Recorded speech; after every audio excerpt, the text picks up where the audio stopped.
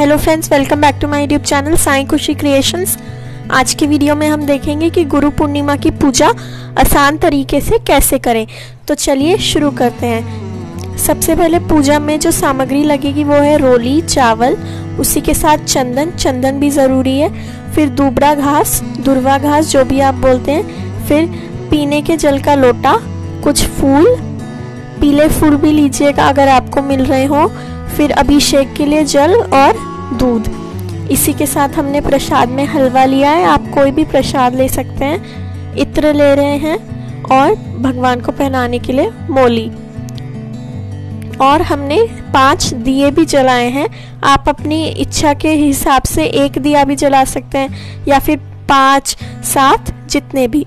और अब एक पाटे पे हम कपड़ा बिछा के चावल पे साईं बाबा की मूर्ति रख रहे हैं और तस्वीर रख रहे हैं। आपके जो भी आराध्य देवता हो, आप उनकी तस्वीर रख सकते हैं। और जैसी भी मूर्ति हो या फ़ोटो हो, किसी भी मूर्ति या फ़ोटो से आप पूजा कर सकते हैं। फिर हम गणपति जी और साईं बाबा की मूर्ति का जल, दूध से अभिषेक कर रहे हैं। ये देखिए, जल, दूध और फिर वापस से जल। फिर एक साफ़ कपड़े से हम देवी देवताओं को पूछ लेंगे और फिर चावल पे गणपति जी को और साईं बाबा दोनों को विराजित करेंगे।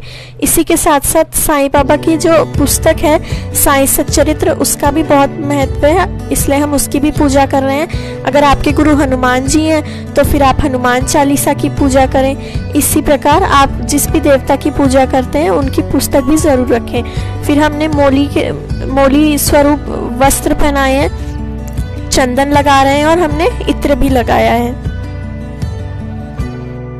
और फिर हम गणपति जी को रोली चावल भी लगाएँगे। ये देखिए, हम अच्छे से चंदन लगाएँगे। और फिर गणपति जी को रोली भी लगाएँगे। रोली, चावल, सभी देवी देवताओं को रोली, हल्दी, कुमकुम सब लगाएँगे। इसके बाद हम फूल चढ़ाएँगे। तो ये देखिए, साईं बाबा को पीले फूल चढ़ाते हैं, इसलिए हमने पीले फूल चढ़ाए हैं। गणपति जी को दुर्वा घास चढ़ाई है और गुड़हल का फूल चढ़ाया है, क्योंकि वह गणपति जी को चढ़ता है। अगर आपके पास नहीं हो तो जो भी फूल हो, आप वो फूल चढ़ा सकते हैं। फूल नहीं भी हो तो बिना फूल के भी पूजा करी जा सकती है।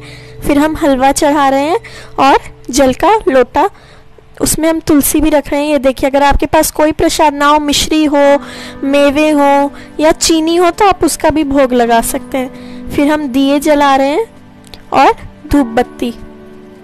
इसके बाद आप ये साईं बाबा की आरती है। सबसे पहले गणपति जी की आरती करें, फिर साईं बाबा की या जो भी आपके गुरु हो, उनकी आरती करें। फिर आप नारियल भी चढ़ा सकते हैं। हमारे पास नारियल नहीं था, इसलिए हमने नहीं चढ़ाया। अगर आपके पास हो तो आप चढ़ाएँ।